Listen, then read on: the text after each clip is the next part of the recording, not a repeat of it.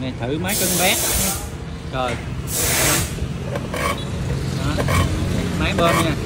Đây là mình điều chỉnh cái à, van khóa áp lại nha.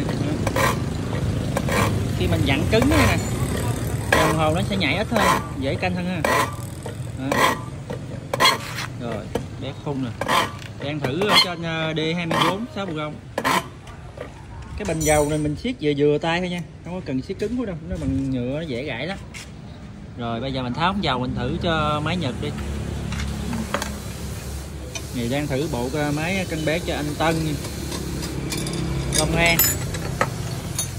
Đây, mình sẽ thử bên máy của máy Nhật SS ha. Này mình thay ống dầu nha.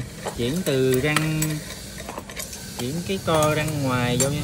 Mình bắt vô đây. Khi mà mình sử dụng đế chính á mình sẽ cần hai đầu nối như vậy. 14 14 nha mình gắn vô đây một cái, với gắn bên đây một cái nữa là sử dụng được cho D9 một cái ống dầu này là 12 14 mình sử dụng được cho D24 anh em lưu ý nha đây mà phụ tùng kèm theo mình. Cái ống dầu này dở lắm, mình sẽ cho ống dầu khác, một cây taro. Này cũng nhật nha nó để là dành lao rang của mấy cái ống dầu với ờ, cái, mấy cái bét dầu rồi. Giờ bạn này đang bắt chưa? ha mở cái này là sẽ tuột áp xuống nè.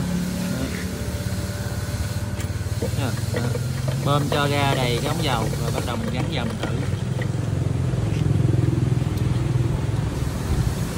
Nhớ là siết cái này vô là nó sẽ ổn định áp lại, nó không có nhảy.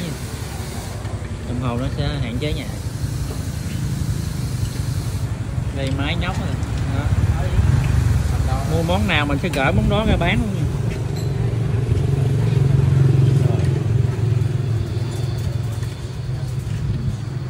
Dầu mới nó hơi nặng nha. Mình dặn vài bữa rồi nó nhẹ nè.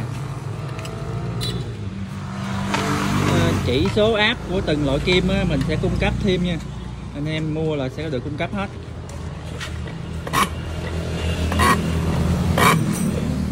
Kẹt chưa được.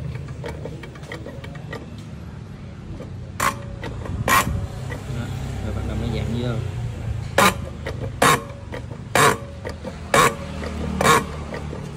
hiện tại áp đang ở 101 ờ, nha.